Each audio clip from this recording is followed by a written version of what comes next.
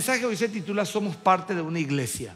Queremos un poco afirmar esa identidad de que pertenecemos a una comunidad de fe y explicar bíblicamente la importancia de este mandamiento de congregarnos de manera regular y ser parte también activa de una congregación, no solamente asistir físicamente, sino de ser parte de esa comunidad de fe.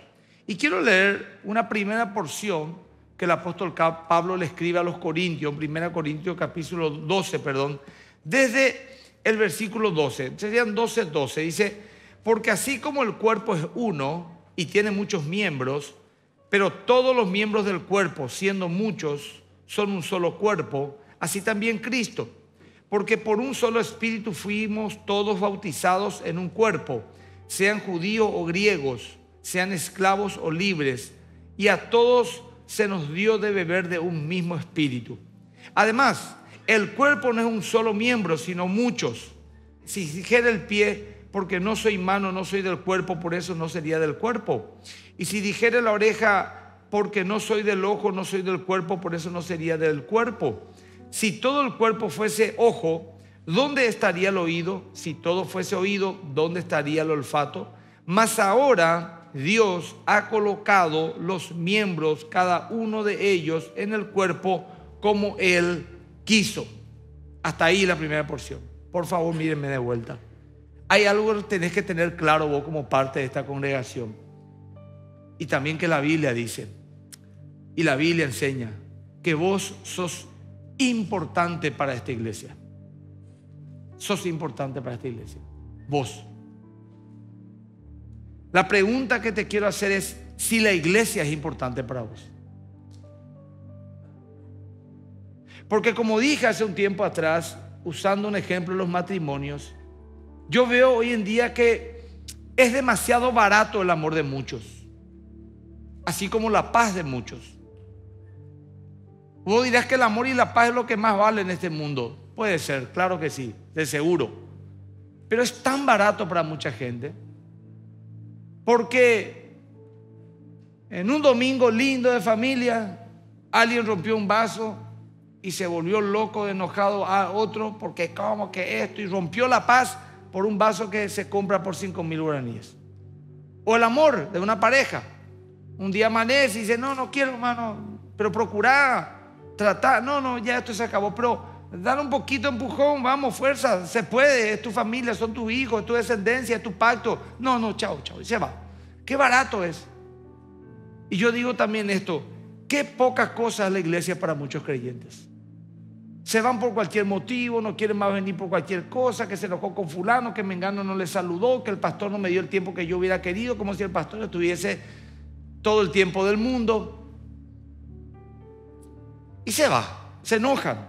Qué barato que es tu amor hacia la iglesia. En qué poca estima nos tuviste había sido. Gente que años se le sirvió. Años estuvo en parte de la, de la iglesia que ha bendecido la iglesia en su momento y que también la iglesia le bendijo mucho. Va, se va, se enoja. Entonces te digo, yo te digo humildemente como pastor de esta iglesia, todo lo que pudieran oír y decir, yo soy parte de esta comunidad de fe, yo te digo, vos sos importante para nosotros. Pero te pregunto, la iglesia, nosotros somos importantes para vos. La Biblia define de muchas maneras la iglesia de muchas formas y da figuras para que la podamos entender claramente. Por ejemplo, la Biblia dice que la iglesia es un rebaño conducido por su pastor que es Cristo. También nos habla de que es una asamblea, o sea, un grupo de personas que es quitada de un lugar para ser llevada a otro lugar y para ser instruccionada en ese lugar. La palabra es eclesia, que es de una manera simbólica y también real, de que nos quita del mundo un, grupo de hombres y mujeres que creen, quita del mundo el sistema y lo lleva a otro lugar, no me refiero físico precisamente, sino en otra, en otra dimensión de vida, donde les consagra, les aparta y les dice, ustedes son tan pecadores como aquellos, pero ustedes han sido perdonados, han arrepentido. Tienen una misión muy especial, vayan y rescaten a los perdidos. La iglesia es una asamblea. Un grupo de gente consagrada, apartada. También dice que la iglesia es una novia y que Cristo es su novio y futuro esposo. Y veremos también acá, en esta porción que hemos hablado, que la iglesia representa un cuerpo espiritual de muchos miembros, como tiene nuestro cuerpo, brazos, dedos, ojos, nariz, riñones, corazón, órganos, tejidos, sangre, y que ese cuerpo tiene una cabeza, no es un ser decapitado, una cabeza que es Cristo. Y lo que tenemos que notar de todos estos ejemplos que el Señor nos da, estas figuras que nos da, cuáles fueron rebaño, asamblea, matrimonio, miembros de un cuerpo, tienen todas estas cosas algo en común. Todas estas cosas nos hablan de comunidad y de fraternidad. No se puede uno, no puede ser parte de un rebaño estando solo, no puede ser parte de un matrimonio estando solo, no puede ser parte de un cuerpo estando solo, no podemos llamar asamblea a una persona que está sola. El que dice que amó a Cristo, que ama a Cristo y no a su iglesia, muchos dicen, yo amo a Dios, lo que no amo es a la iglesia o irme a la iglesia, no quiero, porque yo estoy bien con Dios, yo amo a Cristo. Es, algo que no, no, no encaja o no entendió o no captó. ¿Por qué? Porque no podemos amar a Cristo y no amar lo que Él dice amar. Es como que yo diga, no, yo le amo a mi esposa su, su, cabeza. Amo su, su, su cabeza, pero su cuerpo no amo del cuello para abajo para mí es algo así despreciable. Nadie diría una cosa tan, tan terrible. Es verdad que la iglesia y Cristo no son idénticos, porque te dice, pues la iglesia es una cosa, Cristo es otra cosa. Sí, cierto. Por supuesto que, son distintos, pero son inseparables. Así como la cabeza no tiene mucho, o sea, muy distinto al cuerpo, ¿verdad? En la cabeza están concentrados cuatro de los cinco sentidos. La cabeza tiene más hueso que cualquier otra parte del cuerpo para cubrir el cráneo, etcétera, el, cerebro. O sea, vos pones acá la, cabeza y, el tronco no, no son parecidos. Poner la cabeza y los brazos no son parecidos, pero son inseparables. Funcionan juntos. También se habla en la Biblia de que, como dije recién, la, eh, el esposo y la esposa, la base, el fundamento que es Cristo y el edificio que es la iglesia, el rebaño que es la iglesia y el pastor, todos estos ejemplos nos hablan de, no, no nos hablan de igualdad, nos habla de inseparabilidad. Parte fundamental uno del otro. Un esposo y una esposa son inseparables. Yo no puedo decir, estoy casado, no tengo mujer. Yo no puedo decir, soy parte de un rebaño que no tiene pastor. Porque el pastor y el rebaño tienen que andar juntos. No es que el pastor va por un lado y el rebaño por otro, después se reencuentran después de unos días en otro lugar. Tienen que caminar juntos. Así que la iglesia y Cristo son parte fundamental uno del otro.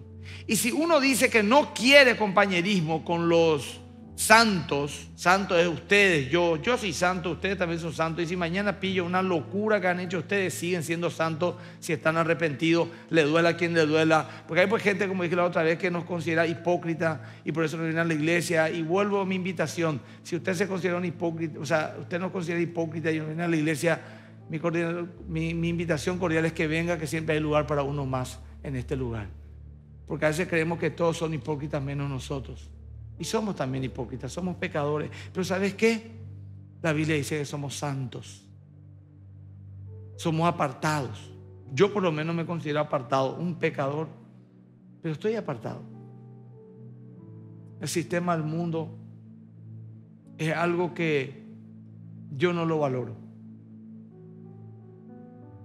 Y Dios, y les repito a ustedes, gente linda, si vos no querés tener compañerismo, con los santos acá en la tierra, te quiero dar la noticia que difícilmente tengas compañerismo con los santos que están en el cielo.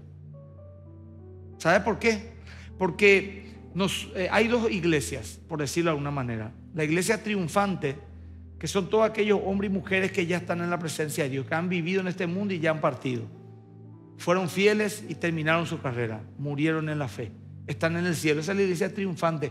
Pero está la iglesia peregrinante que somos nosotros los que aún estamos en este cuerpo físico, caminando, peregrinando por este mundo, lidiando con todas las cuestiones del mundo hasta terminar nuestra carrera. Así que tanto la iglesia triunfante como la iglesia peregrinante tienen algo en común. Viven juntos. El cielo no está separado por sectores en el sentido de que yo estoy solo acá, vivo solo en algún lugar del paraíso donde nadie me vea, porque a mí no me gusta pues, estar entre gente. No, en el cielo no existe ese tipo de gente. Ambos grupos están juntos. La Biblia es clara en que todo creyente debe pertenecer a una iglesia local. He predicado el domingo pasado sobre eso, volviendo a mi casa espiritual, si alguien quiere escuchar. Todo creyente verdadero debe formar parte de una comunidad de fe, grande o pequeña, eso ya no importa. Todo creyente está llamado a la común unión con los hermanos, con otros miembros de la misma fe. Eso es iglesia, repito, sea eso un grupo de 20 personas en la sala de una casa donde hay un pastor, o sea eso una mega iglesia de 10 mil miembros donde hay un pastor. Y si la iglesia es un cuerpo, en un cuerpo se manifiesta una persona. Quiero ser clarito con usted, un ejemplo así súper práctico. Nosotros, ¿cómo nos manifestamos al mundo como personas? Nosotros. Nosotros nos manifestamos al mundo, nos relacionamos con el mundo, nos hacemos conocer al mundo, nosotros, yo, Emilio, Jorge, Pedro, Juan, María, Micaela, no sé, el nombre que quieras vos, te manifestas al mundo solamente de una manera, no de dos, de una, a través de tu cuerpo físico. Vos te manifestás al mundo a través de tu cuerpo físico. Te explico. Todo lo que sabemos de una persona, de un amigo, de un vecino, de una esposa, de un marido, de un hijo, de un padre, de un presidente, de un líder, de, de quien fuera, lo sabemos gracias a su cuerpo. Por ejemplo, vos qué sabes de mí, ir a le conozco al pastor Emilio, es así, es así. ¿Y cómo sabes? Y porque le escucho predicar. Bueno, yo predico a través de mi cuerpo, de mi boca, de mi lengua. Eh, me manifiesto al mundo a través de lo que escribo, con mis manos. Me manifiesto mi, mi personalidad, mi carácter a través de lo que expreso, con mis rostros, con mi rostro, con mis manos, como gesticulo, yo amo y demuestro mi amor a una persona con mi cuerpo, con mi mirada, con mis manos, le abrazo, le acaricio, o mi desprecio hacia alguien con mi actitud, con mi rostro. Y a veces, no es mi caso, con nuestros puños, es nuestro cuerpo. Todo lo que tengo en mi mente, que es invisible, que es inmaterial, porque ¿cómo podemos, eso es hasta una pregunta filosófica, ¿dónde estamos nosotros realmente? Porque esto es un cuerpo, ¿dónde estamos? Para el creyente sabemos que somos eh, alma, espíritu, es inmaterial, es una esencia espiritual.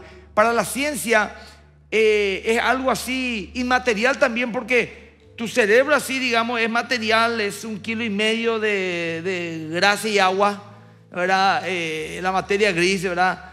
Pero ¿dónde vos estás? ¿Dónde estamos nosotros? Nuestra mente, bueno, perfecto. Pero ¿qué parte de nuestra mente? Porque voy a abrir y no le he encontrado a la persona ahí. Pero somos nuestra mente, sí entiendo. El punto es esto, todo lo que tengo en mi mente, que es invisible, que es inmaterial, que, que no se puede tocar, solamente puedo manifestarlo a través de mi cuerpo. Así sabemos algo de alguien a través de su cuerpo. Es la herramienta para darnos a conocer al mundo. Y así también el mundo conoce a Cristo a través de su cuerpo, que es la iglesia. ¿Dónde está Jesús? ¿Dónde está para pasarle la mano, tocarle, abrazarle? ¿Dónde está? Está en el cielo. Está en la presencia del Padre, a la diestra de Dios. Gloria, amén. Pero ¿dónde es eso? Yo necesito saber quién es, dónde. Bueno, Él tiene un cuerpo y con ese cuerpo se manifiesta al mundo como yo nos manifestamos al mundo de nuestro cuerpo. Él también. Y es la iglesia. Hermano, cuando yo aprendí esto, me, dio miedo, hermano. ¿Qué querés que te diga? Porque lastimosamente yo no es que le represente tan bien a Cristo, ¿verdad? Pero como conjuntos debemos representar, escuchen hermano, a la iglesia representa a Cristo. Eso dice la Biblia y es lógico. Nuestro real yo es invisible. Pero nos manifestamos a través de nuestro cuerpo. Lo mismo con Cristo. Es un cuerpo, en un cuerpo se manifiesta una persona. La iglesia es la parte visible de un Jesús invisible. Y Jesús es la parte invisible de una iglesia visible. Y juntos manifestamos la vida de nuestro Señor Jesucristo. Y ojo, no digo que vos le representás a Cristo. La iglesia representa a Cristo.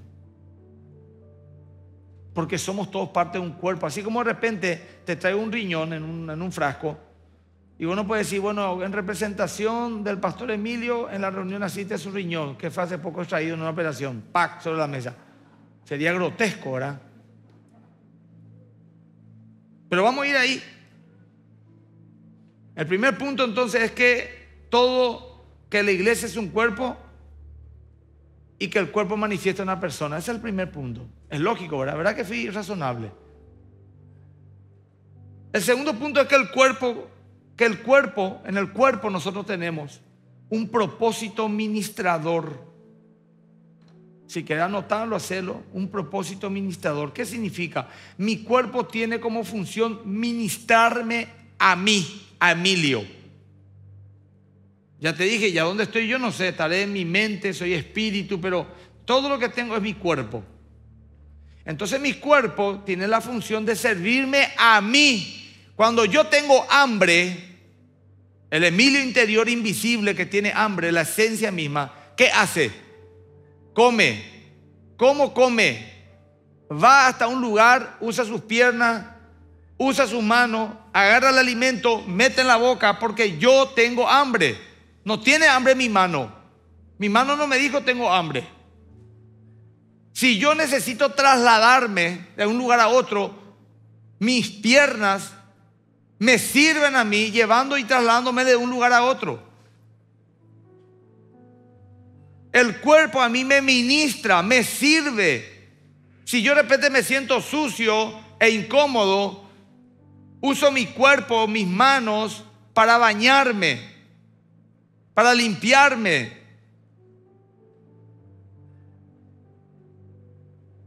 Un brazo amputado no soy yo.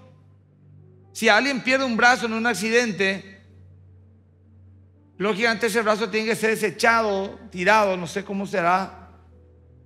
Nadie dice murió fulano que perdió un brazo. ¿Qué? ¿Murió? No, perdió un brazo. No, pero no murió. Él, su brazo perdió, se pudió, se tiró a algún lugar. Él vive. Entonces su cuerpo, su brazo no era él, era parte de su cuerpo.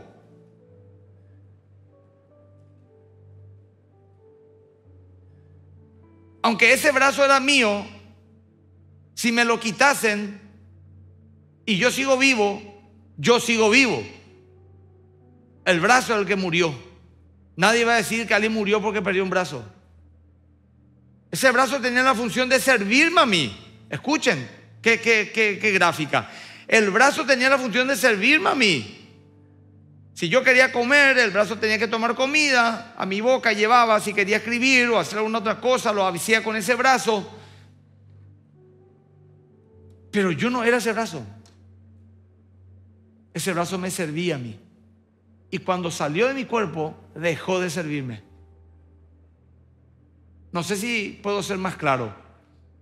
Si saliste del cuerpo de la iglesia local, no de esta solamente, escuchá. Si vos salís más que vencedores para ir a otra iglesia local y servir, vos sos parte del cuerpo. Pero si vos decís, no, yo ya no me amo a la iglesia, de mi casa, yo solo, no necesito nada, me voy a conectar con Dios en línea directa, vos no sos parte del cuerpo. Si es que fuera parte del cuerpo, ¿qué cosa? ¿Parte del cuerpo qué? Salió y ya no sirve. Ya no sirve. Ya no sirve. Por eso cuando Jesús dice, a los tibios les montaré de mi boca en Apocalipsis, la gente dice, no seas tibio porque Dios te va a vomitar de la boca. Yo te pregunto, cuando vos vomitas, ¿qué vomitas? ¿Tu riñón, tu corazón, un lado tu pulmón? ¿Qué vomitas? Un cuerpo extraño dentro de tu cuerpo que te está haciendo mal, una comida, algo que tragaste que no te hizo bien. Dijo, esa comida que comiste es parte de tu cuerpo la que vomitaste. No. El verdadero hijo hija de Dios jamás será vomitado porque es parte del cuerpo. Nadie vomita un riñón, ni un hígado, ni el vaso se vomita aquello que estaba dentro del cuerpo y no era parte del cuerpo. Ese es otro caso. Estoy hablando ahora de alguien que es cristiano, pero no es parte del cuerpo. Venga, sea parte del cuerpo. Pero el otro extremo es alguien que no es cristiano y está en medio del cuerpo. Dios sabe quiénes son los suyos, es separar al tío y la cizaña. Cada uno tiene que evaluarse. Si yo no soy parte de una comunidad, gente, de fe, no solo no estoy en el cuerpo, sino que no sirvo. Ni al cuerpo y menos a la cabeza. Porque esta mano sirve también para, por ejemplo, Fisionarme este brazo que me duele porque esta mano no puede llegar acá. Entonces este brazo sirve a este sector del cuerpo. Pero también puedo peinarme, puedo limpiarme los ojos o puedo comer. También puedo ministrar a la cabeza. Entonces cuando vos sos miembro de un cuerpo espiritual a través de una iglesia local de fe, vos no solamente servís a Cristo a través del evangelismo, a través de... Le estás sirviendo también a la gente a otro hermano le ayudás, le aconsejás, le consolás, como ha ocurrido tanto, especialmente en este tiempo, uno con otro. Entonces el cuerpo tiene una función de manifestarse al mundo y de decirle al mundo quién soy yo, qué quiero, qué no quiero. También el cuerpo tiene un propósito ministrador. Y el tercer punto es que el cuerpo tiene un propósito motivador. Te explico. Tiene que haber vida en un cuerpo, porque sin vida el cuerpo no sirve. Vamos a leer el verso 13. Porque por un solo espíritu fuimos todos bautizados en un cuerpo.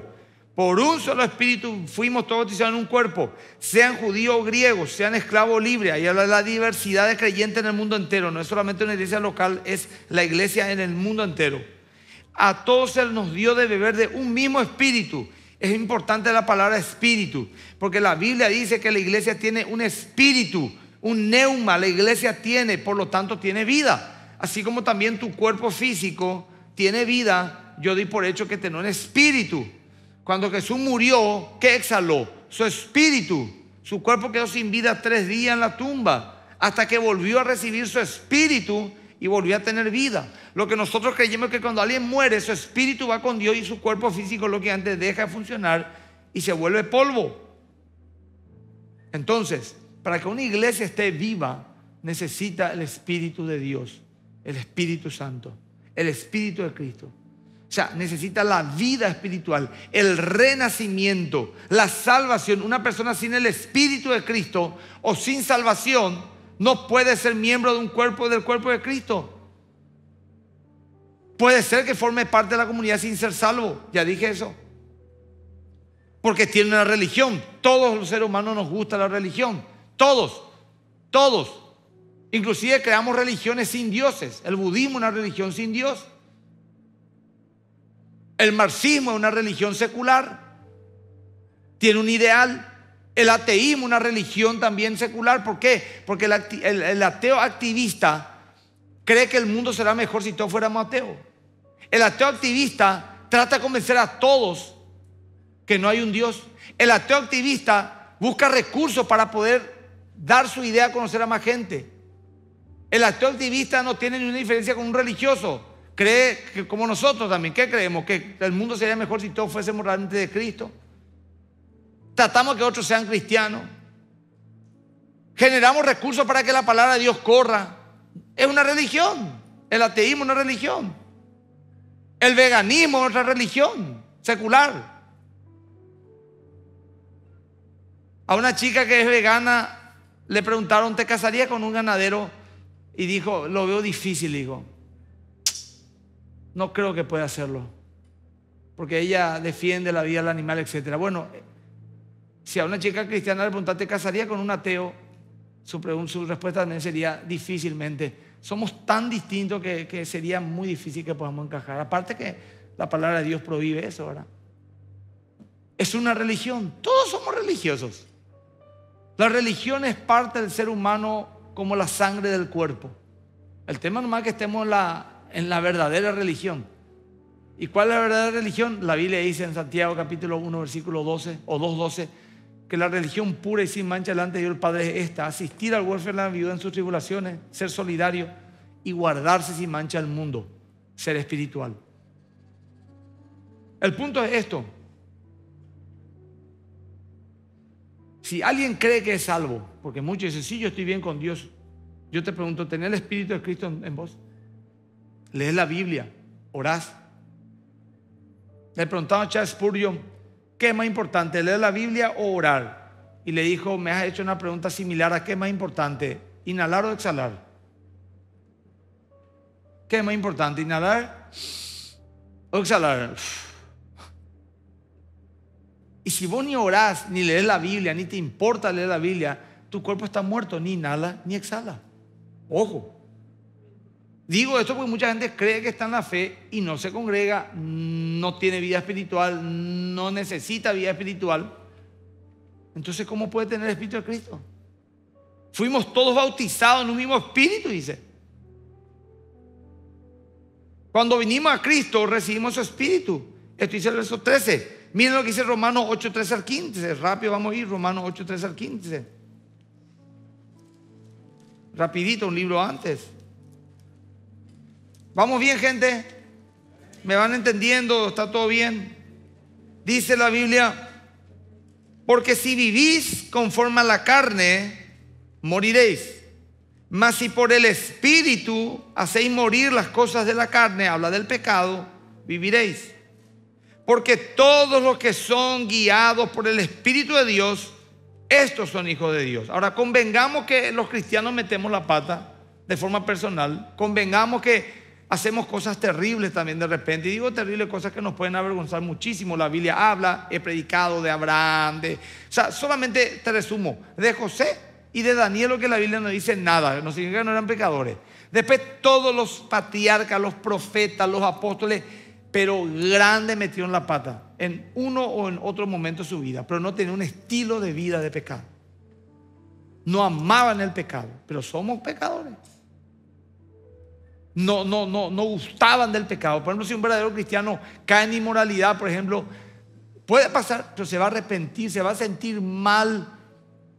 El pecador está conforme a la carne, o sea, va a hacer eso y así, bien, me salió, ahora buscar otra. Entonces,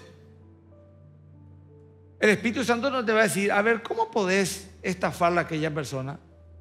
A ver, se trata tampoco a pensar cómo podés traicionar a aquel que está allá?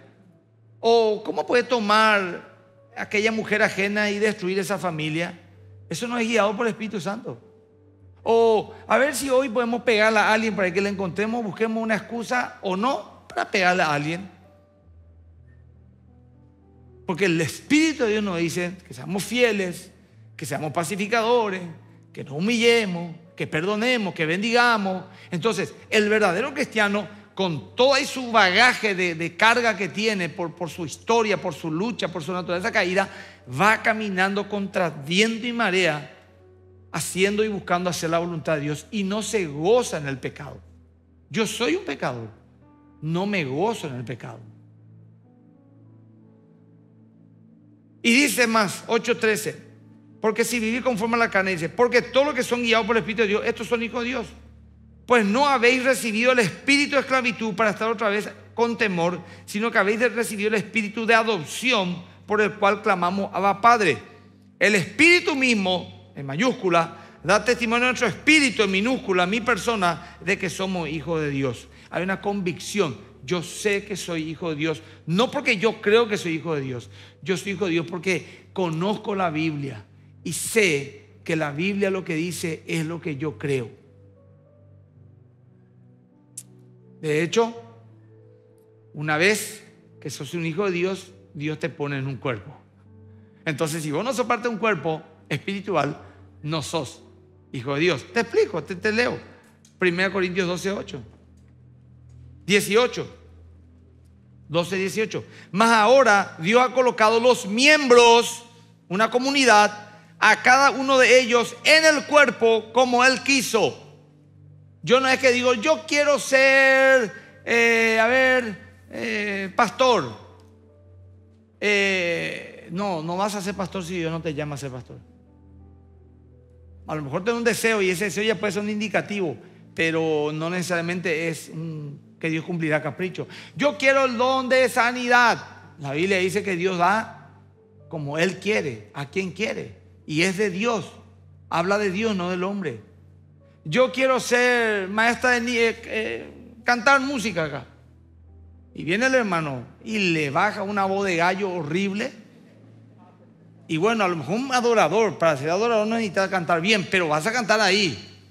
Porque acá necesita un don. O sea, acá el teclado, me lo, Orlando, Orlando toca muy bien. A veces se equivoca una tecla nomás, pero eso es demasiado poco, así nomás. No, no podemos decir eso. Tiene que haber un cierto don en él. Yo le aseguro que si se sube ahí alguien que no sabe absolutamente nada tocar o es muy mediocre, va a, cortar todo, no van a poder concentrarse, van a pedir que se baje. Entonces, Dios le pone, y yo a mí por lo sigo me decís, ¿qué te hubiera gustado a vos, pastor? A mí me hubiera gustado así humanamente, eh, saber ser un muy buen futbolista y cantar súper bien. Eso a mí me hubiera gustado. Ni una de las dos cosas se hace.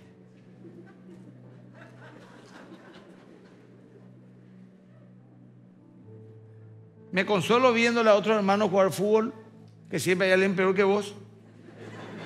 Y digo, bueno, por lo menos algo, ¿verdad? Pero yo quería ser futbolista profesional y quería cantar súper bien. Yo decía, qué gusto de predicar, pero voy a cantar y cantar. Toqué la guitarra, toco la guitarra y tocaba muy bien también en su momento. Dejé de practicar pero qué lindo hubiera sido que yo sepa cantar lindo y una unción traigo, después predico. Tengo que ver quién me acompaña, si Laura o me acompaña eh, Eric o quién para que yo ministre, porque no sepa cantar. Todo lo poco que pude haber logrado con la palabra se fue a la vez cuando yo digo cantar, por verdad. Porque no sé. Pero Dios no me quiso dar eso. Dios me dio el don de la palabra, está bien. Yo predico, la gente le dice que qué gusto da escuchar. Bueno, es un don que no es mío, es de Dios. Es lo que Dios me dio, pero si Dios me dice, ¿qué querés? Quiero saber cantar y jugar fútbol. Atender lo espiritual que estoy. Yo cuando recibo el Espíritu Santo, escuchen,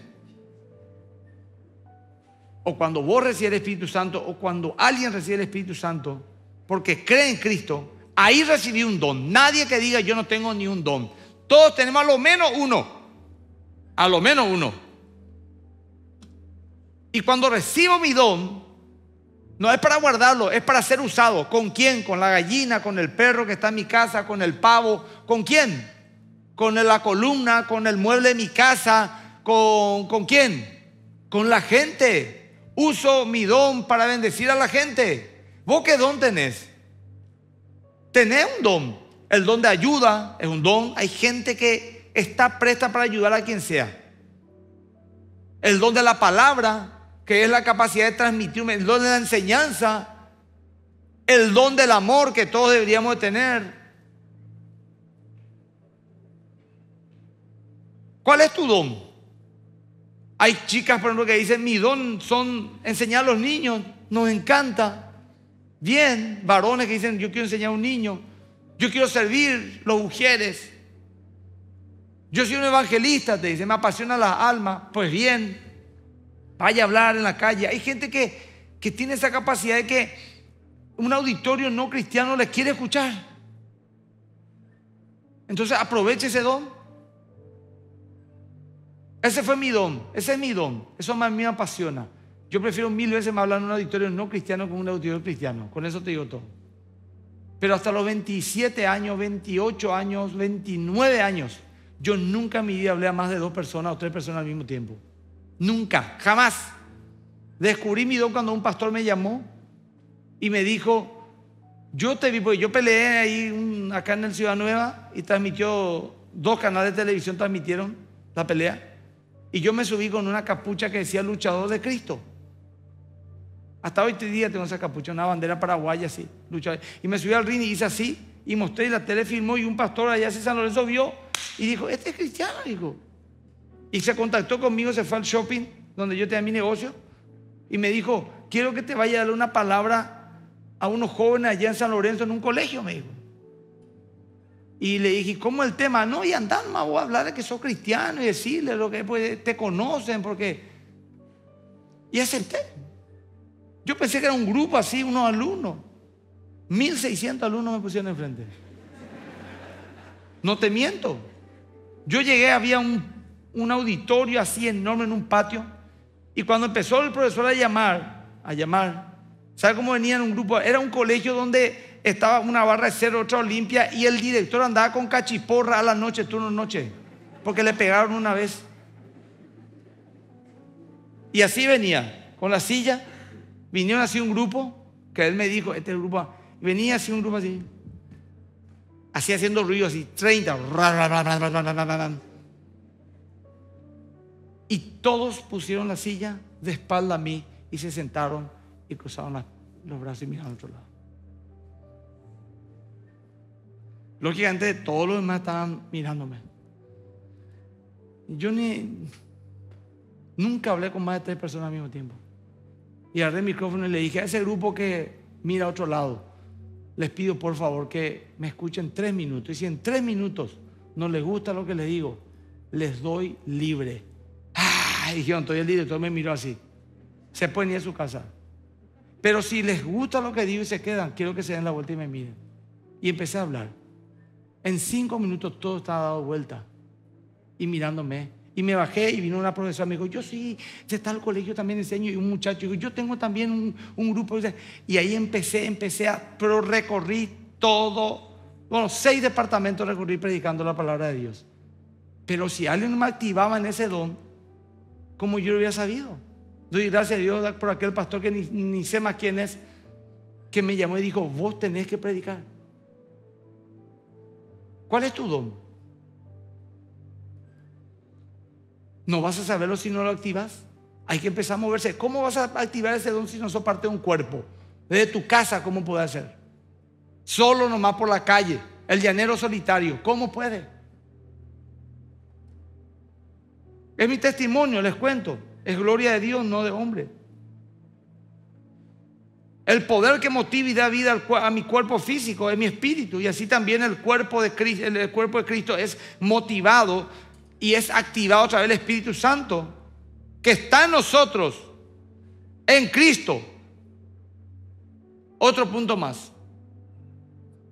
El primero era que el cuerpo, perdón, la iglesia es un cuerpo y en un cuerpo se manifiesta una persona.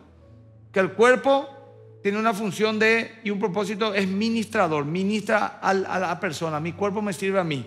El tercero, el cuerpo tiene un propósito motivador, tiene que tener vida para que funcione.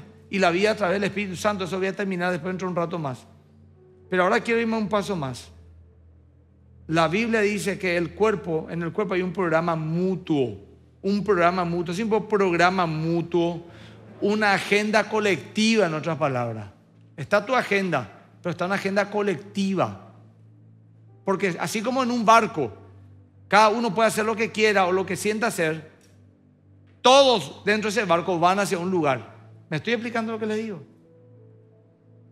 1 Corintios 12, 19, perdón, hemos leído el último, más ahora Dios ha colocado sus miembros, cada uno de ellos, en su cuerpo como él quiso. Porque si todos fueran un solo miembro, por ejemplo, todos brazos, ¿dónde estaría el cuerpo?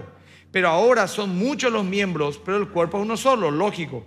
Ni el ojo puede decirle a la mano, no te necesito, ni tampoco la cabeza, los pies, no tengo necesidad de vosotros. Antes bien, los miembros del cuerpo que parecen más débiles son los más necesarios. Había explicado, el ojo, por ejemplo, es débil, delicado, pero súper súper necesario. Y aquellos del cuerpo que nos parecen menos dignos, a esto lo vestimos con más dignamente. Por ejemplo, habla de las partes privadas, que a todos nos haría vergüenza estar enseñándole a la gente. Entonces, es la parte que más se viste. Siempre está vestido. Entonces, la cara podría decirle, eh, ¿por qué vos le cuidás más? Y yo todo el día estoy en la intemperie y el otro está bien abrigadito por ahí. No. O viceversa. Porque a mí tener vergüenza de mí y esa cara fea que tenés y le mostrar a todo el mundo. Y aquellos del cuerpo que nos parecen menos dignos, a esto lo vestimos más dignamente. Y a los que nosotros son menos decorosos, se trata con más decoro. Porque los que en nosotros son más decorosos no tienen necesidad. Pero Dios ordenó el cuerpo, Dios dando más abundante honor al que le faltaba. Para que no haya desaveniencia en el cuerpo, sino que los miembros todos se preocupen los unos por los otros. De manera que si un miembro padece, se te rompió un dedo, todo el miembro duele con él. Por supuesto, ya no da gusto nada. No querés salir, querés quedarte en tu casa, está roto tu dedo, no, te, no, no puedes dormir, Nadie puede descansar hasta que ese dedo se solucione. Nadie descansa. Y si un miembro recibe honra, todos los miembros de él se gozan. Yo te aseguro que los, los brazos, los oídos, los ojos, el pulmón, el riñón de Messi están muy agradecidos con sus, las piernas de su cuerpo por las habilidades que tienen. Porque todo el cuerpo es beneficiado por la capacidad de un miembro del cuerpo. Yo, por ejemplo, le doy gracias a Dios a aquellos que tienen la capacidad de generar riqueza, por ejemplo. Hay gente que hace un negocio aquí y allá. ¿Qué don, eh? Uno va a querer ese don. Pero es un don, no todos. Alguien dijo una vez, si a todos le repartiésemos la misma cantidad de dinero, a todo el mundo la misma cantidad de dinero, un millón de dólares cada habitante del mundo, en poco tiempo más, la riqueza estará distribuida de la misma manera que hoy está. Porque algunos van a gastar mal, no van a invertir, ok, otro no va a saber qué hacer, otro va a saber qué hacer, ya le vaya, el otro convence y va a ganar, va a tener dos, ya el otro. Eh, porque es así. Cada uno según su don, dicen. Hay un programa mutuo, no hay llanero solitario en el cuerpo. La, analogía es enorme acá, es clara. Habla de una comunidad que se apoya mutuamente, sino que los miembros todos se preocupen uno de los otros. No se puede ser parte de un cuerpo sin estar relacionado uno con otro creyente. A través de la iglesia local, no anda ese que viene el mal domingo, sea parte de un grupo areño, venga a estudiar la vida, la Biblia, relaciónese con otras personas. A lo mejor acá está su futura esposa, su futuro marido, su futuro compañero de, negocios. Yo ayer, por ejemplo, vine con los jóvenes acá, miré la juventud que había, la gente que había, las chicas, los chicos, gente tan linda. Les conozco a muchísimos, chicas de primer nivel, muchachos de primer nivel, y me refiero a su corazón. Y yo digo, wow, ¿cuántos noviazgos se formarán acá? De repente le vi a una de las hermanas, ha sido panza, se casó hace dos años. ¿Y cuánta historia conocemos? Es nuestro primer hijo, salieron de la mano del marido, nos conocimos acá. Él canta, ella estaba sirviendo. Cada vez que se iba con los niños, así le llevaba a los niños y miraba el púlpito. ¿Verdad? Así fue. Yo te voy a contar algo, muchos se ríen de mi esposa, ¿verdad? Se presta, ¿verdad? Pero dice que ella, ella cantaba en la iglesia, es que así, y yo no era un muchacho comprometido. No te miento, esto es serio, te vas a reír, pero es serio. Y yo tenía mi alta y mi baja. No, es que así nomás. Ella por lo se convirtió una vez y ¡boom! Nunca más. Así se convirtió Lilian y nunca más ni su nariz puso en el mundo. Todo el día en la iglesia. Yo no. Lo mío fue más un proceso. Me iba, no me iba, me iba, no me iba. Pero una cosa así, siempre traté de congregarme y de sembrar. Y en una época me dijo un hermano, ¿por qué luego vení y no venía a la iglesia? Me dijo. Porque se te ve un tiempo, después no se te ve otro tiempo. No sé infiel, me dijo él. ¿Y qué es infiel? Y venía a la casa de Dios, no, pero de repente pues, yo me, me descarrío, le digo. No, no importa eso. Uno que es un hipócrita, ¿verdad? No, no quiero ser un hipócrita de que estoy en el mundo y me voy a la iglesia. Entonces gasta en el mundo, me dijo. ¿Por qué tenés que gastar en la iglesia para estar bien en el mundo? ¿Por qué no dejar en el mundo? No, pero no me cuesta, le digo yo. Me cuesta, me cuesta. ¿Qué te puedo decir? Los amigos, el deporte, esta, aquella, salida, acá, no sé, la vanidad, la vida. Me cuesta. Y me dijo, ¿sabes qué? Olvídate todo el bagaje que la Biblia te pide. Hace una cosa más por el momento, porque eso es muy, muy, muy inmaduro todavía, amigo. No deje de congregarte nunca, no importa lo que pase, amigo. Y yo dije, sí, voy a hacer eso. Y me empecé a congregar, me empecé a congregar todos los domingos, ahí firme, en el fondo me acuerdo bien, me sentaba. Y yo le veía a Lili así cantar, pero no, no era así que, wow, yo le miraba. Pero ella me contó, ella dice, por eso estás a reír, de que una vez yo estaba entrando y ella me conocía por amiga que dice, dice que ella sí sintió en su mente, con ese vas a casar. Y yo era un tibio. Y ella era una chica muy metida en las cosas Señor, seria. Y una chica seria no se va a querer casar con un tibión y viceversa también. Pero pasó el tiempo, Dios me metió en un proceso y usted conoce mi historia y me casé con ella. Pero yo digo nomás, gracias que me fui a la iglesia, encontré ahí también. Si no me veía nada, pues, el que estaba al lado y decía, ese va a ser para tu esposo y decía el otro feo. Y yo hubiera perdido la oportunidad. Venía acá, no sabemos lo que Dios tiene para tu vida. fundamentalmente para la bendición espiritual. Generalmente damos gracias a Dios por parte del cuerpo que son visibles. Yo muchas veces le agradecí a Dios por mis ojos, le agradecí a Dios por, por, mi, por mi sentido del gusto cuando me agarró COVID. Qué sentido maravilloso había sido. La vida no tiene sabor si no hay gusto. ¿sabes? Comer, yo dije, ¿cómo me iba a cenar? Me iba a decir, qué rico estás, o sea, no puedo meter nada, o sea, horrible era. Gracias, yo recuperé bastante. Pero ¿quién, por ejemplo, se amanece un día y dice, gracias, Señor, por mi vaso, por mis páncreas? Gracias, Señor, por mi tejido adiposo, que lo tengo mucho. A no ser que se enferme esa parte del cuerpo, y ahí decimos, wow, ¿vos sabes lo que es el riñón sano? Dios me guarde y libre. ¿Vos sabes lo que es si vos no tenés riñones funcionando tres veces a la semana diálisis, cuatro o cinco horas? No puedes viajar, no ir a ningún lado. Es terrible, hermano. Vos tenés acá tu máquina de diálisis 24 horas. Qué glorioso el riñón. Pero ¿cuántas veces decimos gloria a Dios por mi riñón? Entonces así también el cuerpo espiritual. Gloria a Dios por el pastor. Gloria a Dios por los hermanos que cantan. Qué lindo como cantan. ¿Cómo me ministraste, mi hermano? ¿Y quién se acuerda de Lugier? En este caso, Lugier sería el riñón. Está escondido, nadie lo ve, pero fundamentales. ¿Y la maestra de niños? ¿Y los intercesores? Pero hay otra cosa interesante también.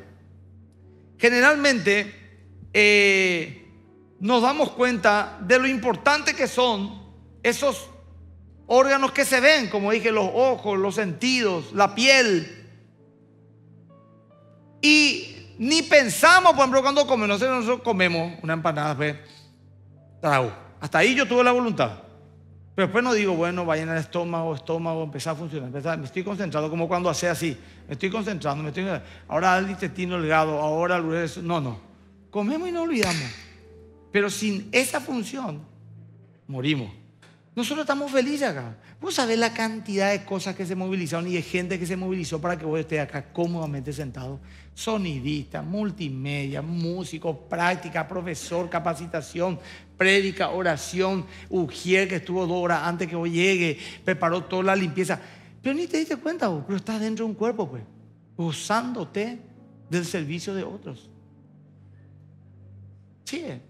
Y ahora los que están buscando solidaridad porque están mal, de repente un hermano, o de repente, ¿sabes qué? Me llama y me dice, pastor, me dice eh, una hermana, no voy a decir quién, que, tiene su marido en una situación muy delicada. Me dice, pastor, de repente apareció, me giraron un millón de guaraníes. No sé ni quién es, anónimo. Ese no viene de la disco. No. Un hermano de la iglesia. Y sabe está siendo bendecido porque es parte de un cuerpo. Ahora, Dios nos dio a todos un don, ¿sí?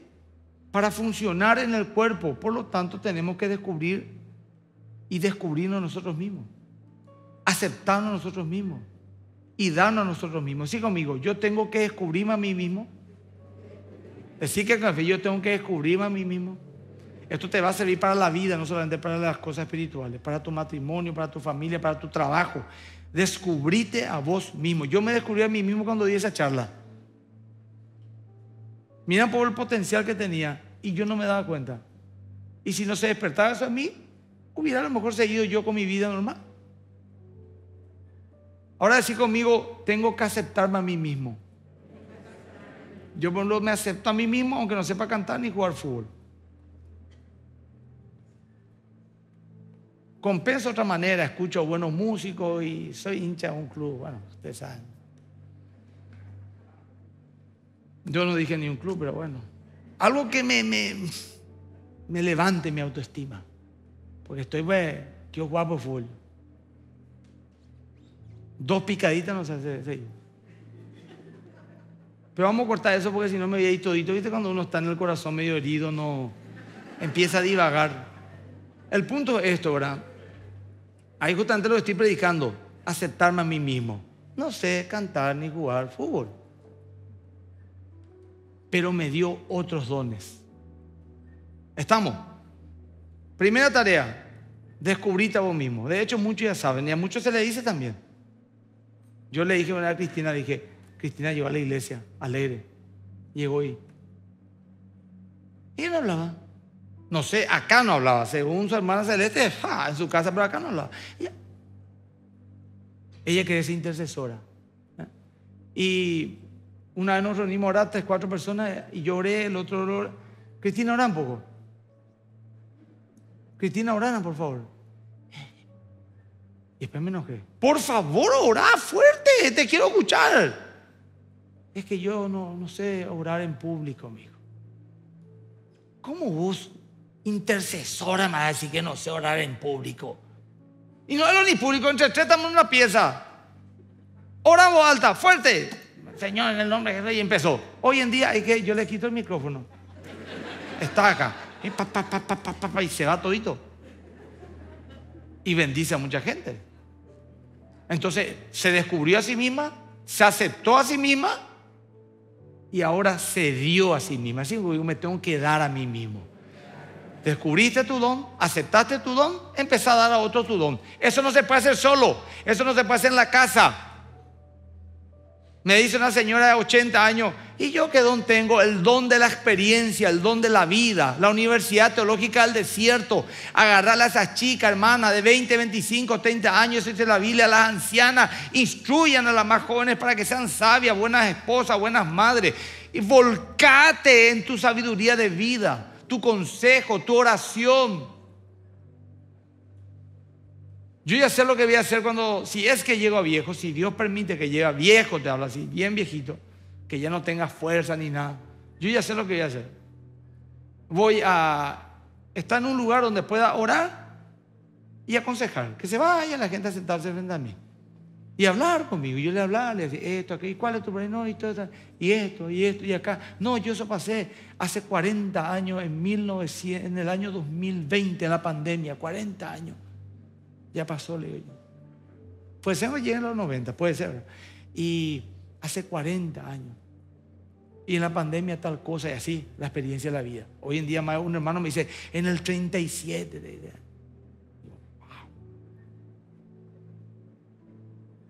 Tenés dones, aunque esté viejito y viejita no te puedas mover bien. Tío Pedro Canán, 88 años tiene. Hoy no vino justamente. Bueno, le voy a nombrar ahora que no vino. 88 años. Ujier le habla a los, eh, tengo una palabra para los jóvenes y él tiene más pila que, todo el mundo. Una vez le vi caminando con Ale sobre la avenida ya cerca del shopping, se iba 10 metros delante de, de Ale. Así el show de tío Pedro, acá su pecable. Y me dicen que anda de bicicleta de noche en bajada sin luz cuando llueve. Dicen en sus ratos libres. O sea, todo está en el corazón de alguien. Vos tenés que ser parte de un cuerpo y servir a los demás. Tenemos que descubrirnos. Y acá termino. Es importante primero saber, antes que decir si soy parte de un cuerpo, saber en primer lugar si vos sos parte del cuerpo de Cristo. Si vos realmente sos un hijo o una hija de Dios. Y si no lo sos, esto es a través de la fe en Cristo, entregando tu vida, a través de la oración. Como la oración, yo hablo con Dios. Señor, me doy cuenta que no soy parte de tu cuerpo y quiero ser. No de una iglesia local solamente, de tu cuerpo espiritual. Me arrepiento de mis pecados, sálvame. Y en ese instante tenés el mismo color de ojos, la misma estatura, el mismo sobrepeso, todo lo que vos quieras. Pero en el mundo espiritual ocurrió algo glorioso que se va a manifestar con el tiempo. Yo pido que nos paremos todos, por favor. Quiero bendecirles, Padre, te doy gracias en el nombre de Jesús por esta preciosa mañana, donde hemos oído el mensaje, Señor, soy parte de un cuerpo espiritual. Y quiero, Padre, que cada uno descubra su don, acepte su don y se dé con su don a tanta gente que necesita, Señor. Te doy gracias y los bendigo en el nombre del Padre, del Hijo y del Espíritu Santo. Amén. Un fuerte aplauso. Que Dios le bendiga. Nos vemos entonces la siguiente reunión. Pueden pasar, vamos a tomar los datos y vamos a orar también por estas personas. ¿sí? Bienvenidos. ¿Vienen juntos ustedes?